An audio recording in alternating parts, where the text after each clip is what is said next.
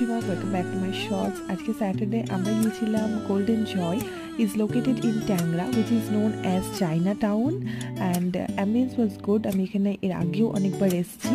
and they have variety of dishes and the quality and the quantity was really good compare to its price তো আমরা যা যা order করেছিলাম বলে দিই স্টার্টারে করেছিলাম chicken wonton peri peri chicken and the tom yum soup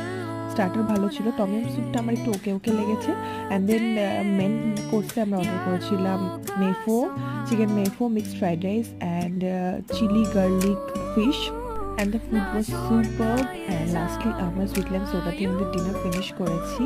So overall was a good experience I will recommend for those who are Chinese lovers I hope you like this video thank you for watching